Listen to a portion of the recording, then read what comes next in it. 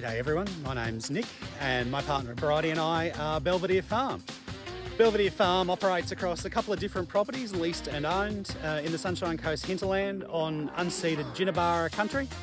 Uh, I'm going to take you over to our lease block and show you our war on Lantana fought by a herd of pastured pigs. And uh, then I'm going to bring you back here and show you around a little bit. Um, unfortunately, your host Dan Vanderhoek couldn't be with us today. He is responsibly locking down up in Gympie.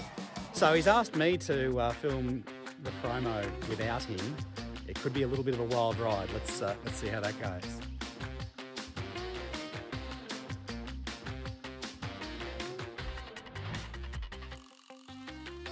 So at Belvedere Farm, we practice agroecology, which is a, a, term you might not have heard before, but it's a uh, set of practices and a social movement that talks about producing food with people in an ecosystem. It's as simple as that. And um, that's what we do around here.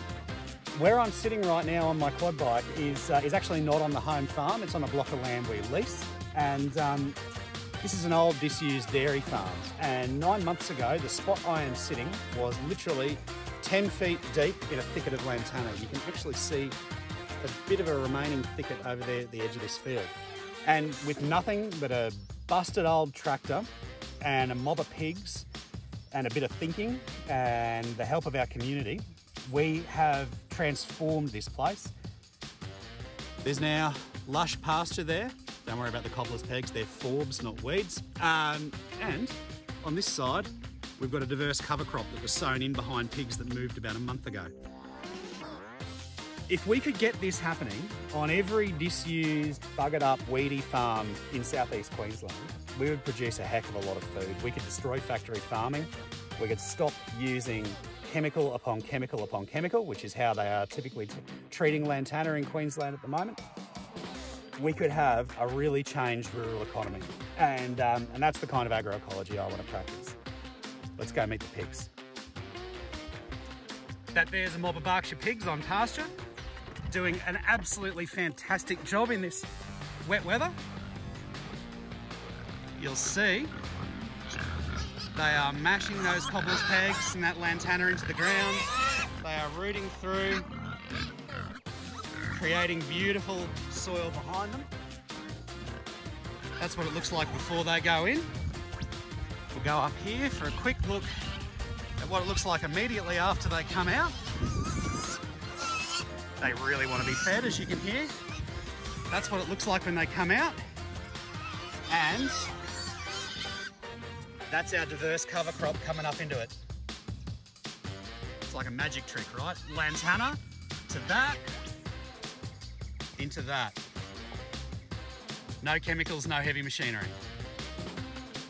And what's on the menu today, if they'll let you have a look at it, they probably won't, are spent brewer's grains from a brewery down in Brisbane, and whey from a cheese maker, and waste fruit from local strawberry farms.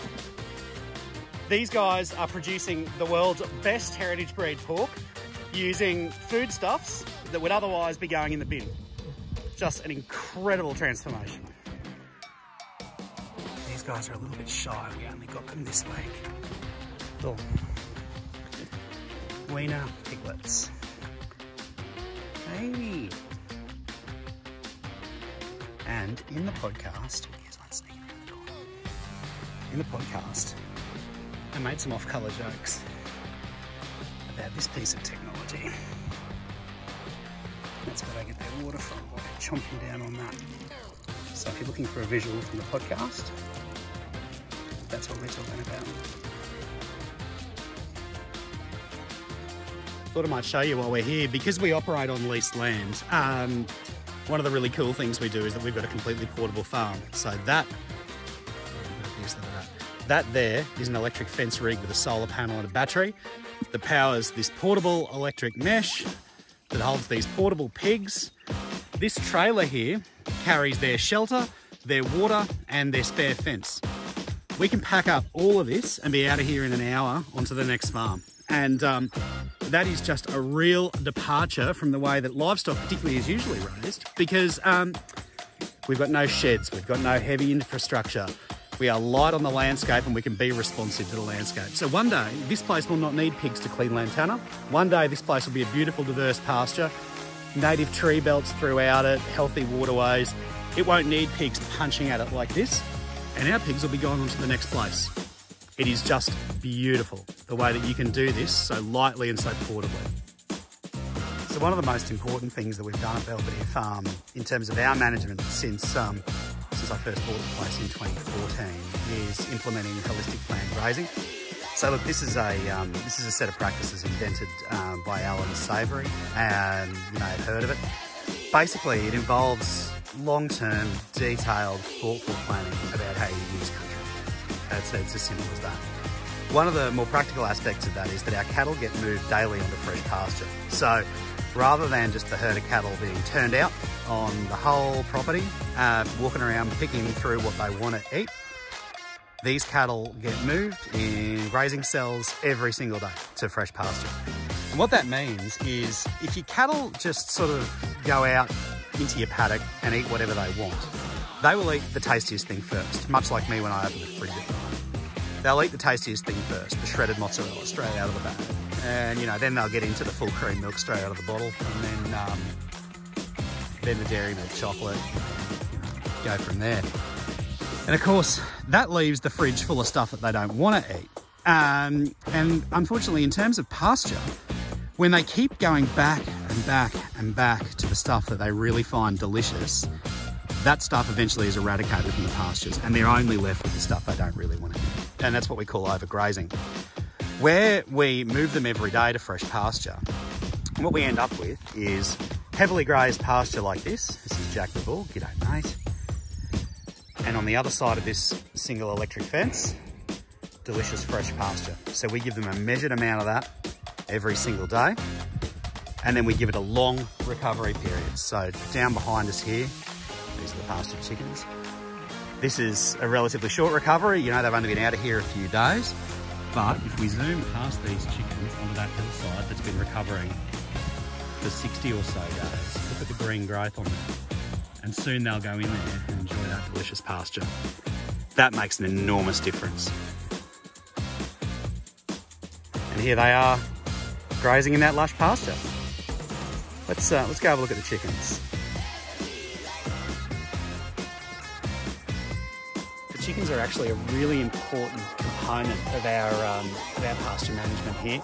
They follow immediately behind the cow herd and they scratch through the manure piles, they fertilise the pasture, they pick up insects and do a really wonderful job in that ecosystem process, basically.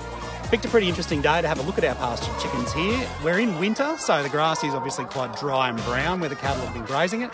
It's also a wet day at the end of a wet week, the day before the chickens are due to be moved to fresh pasture. So, so tomorrow they will actually move there. Um, so this is about as bad as our chickens ever look. And you can tell it's still pretty great. They got lots of room to roam around, lots of space to express their natural behaviours. there's no smell, there's no noise, there's no dust. The neighbours are happy to have it here, unlike a factory chicken farm. Um, and you know, I talk about this a lot in the podcast, but um, raising chickens on pasture is not free range. It is completely different to industrial free range, and they shouldn't be compared. And, uh, and that's why we're very proud to raise pasture poultry.